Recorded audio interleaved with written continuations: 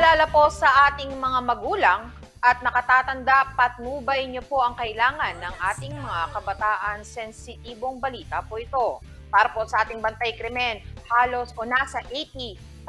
na halaga ng shabu na kumpiska ng Nueva Ecija Police sa limang sospek. Nakumpiska umano ng Nueva Ecija Police Provincial Office o NEPO ang illegal, ang illegal drugs na nagkakahalaga ng halos 80,000 pesos mula sa limang sospek sa isinagawang anti-illegal drug bypass operation sa lalawigan noong umaga ng April 11, 2023. Ayon kay Police Colonel Richard Caballero, Provincial Director ng NEPO, dalawa sa mga sospek na ito ay nahuli sa bayan ng Aliaga kasama ang 7.5 grams ng hinihinalang shabu na tinatayang nagkakalaga ng halos 51,000 pesos, habang nasamsam naman ng pulisya ang 4.25 grams ng pinagsususpetsang shabu na nagkakahalaga naman ng halos 28,900 pesos galing sa naaarestong dalawang sospek sa lungsod ng Gapan at isa pa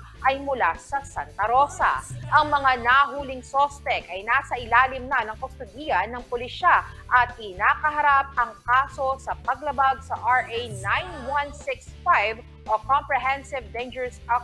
Drugs Act of, 20, of 2002.